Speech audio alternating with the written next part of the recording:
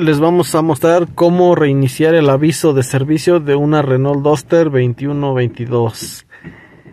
Bien, lo que primero que debemos hacer es oprimir el switch hasta la posición de on y se ve la llave del aviso de servicio. Con los controles del volante vamos a mover hacia arriba o hacia abajo hasta que nos indique intervalos de servicio. Una vez llegando a intervalos de servicio, mantener oprimida ya sea la flecha de arriba o de abajo por algunos cuantos segundos hasta que aparezca ese menú cambio de aceite en tantos kilómetros.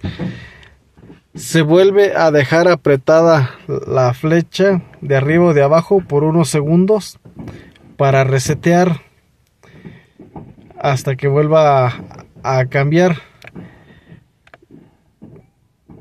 Como ven, mm, le solté, pero eh, ahí está apareciendo ya.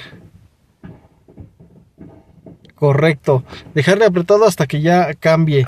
Ahí dice que el próximo cambio de aceite será en 10.000 kilómetros o 12 meses.